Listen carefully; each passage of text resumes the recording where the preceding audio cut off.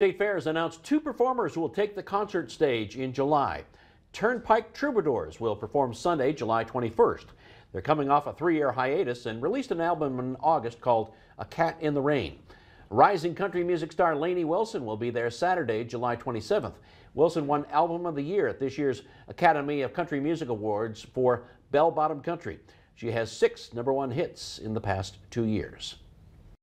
It's very heartfelt, very um, close to home. So mm -hmm. if you are not familiar with their music, I highly encourage you to yeah. listen to their interviews, kind of get to know them, and it's very deep, yeah. very, very um, close to home for them.